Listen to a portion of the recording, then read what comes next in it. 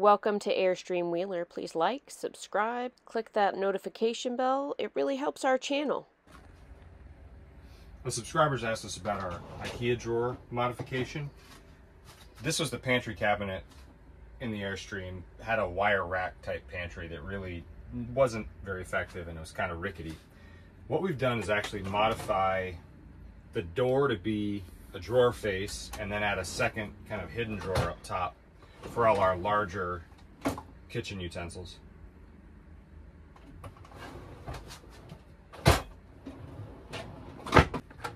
Um, it's going to take a few minutes and show everybody how they work. I'm going to take this door off. Quick to do and it'll make it easier to see.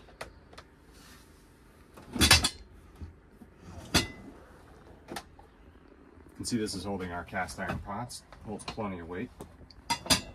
These drawers are on 100 pound Austrian made Blum glides. I'm just going to pop this, just remove the drawer. You can see that they're heavy duty. On this side I mounted the glide to the cabinet wall with two screws. Now on the left side I used two strips to shim it out to space for the hinge. This is a 15 inch IKEA cabinet drawer and it's designed to go in their 15 inch IKEA cabinet base.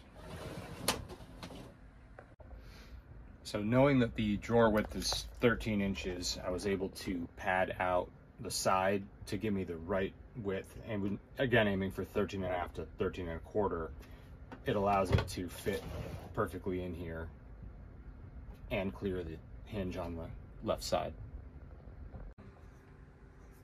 Now this is the most difficult drawer to reinstall because the clearance for the plumbing trap is very close. So the way to put it back in is to set it on the glides and try to nestle it back in because it needs to be settled before it goes by that plumbing. And there it is. Once it's settled, it runs just right. So there's a little decorative cover that I'm removing here. And what I'm going to do is release a screw, if I can find it. There's a little screw here that if you turn it backwards, it releases the face.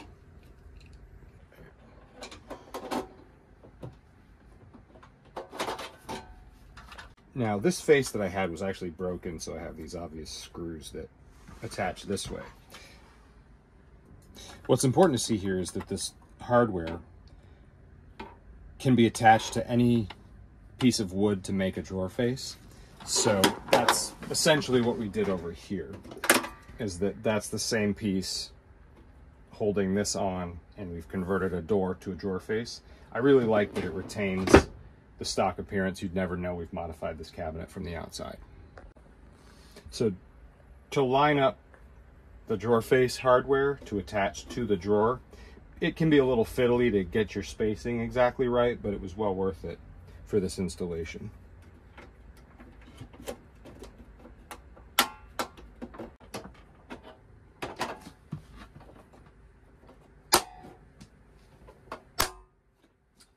once you line it up, it'll just pop back and lock, and you'll be sure that it's locked into place if you hear it click in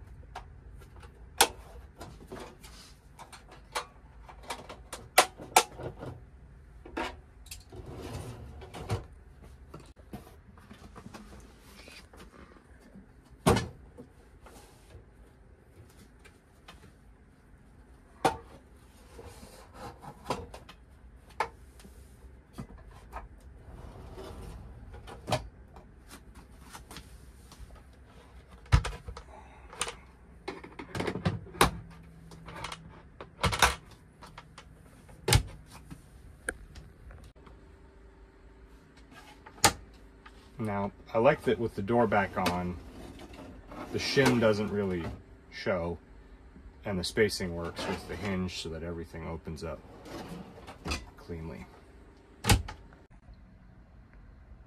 I hope you found this useful. I've done this modification to update house cabinets, RV cabinets, and here in my own Airstream. I'm not a custom cabinet maker, but this modification gives us a significant improvement in our storage space, and it's not terribly time consuming or difficult to do.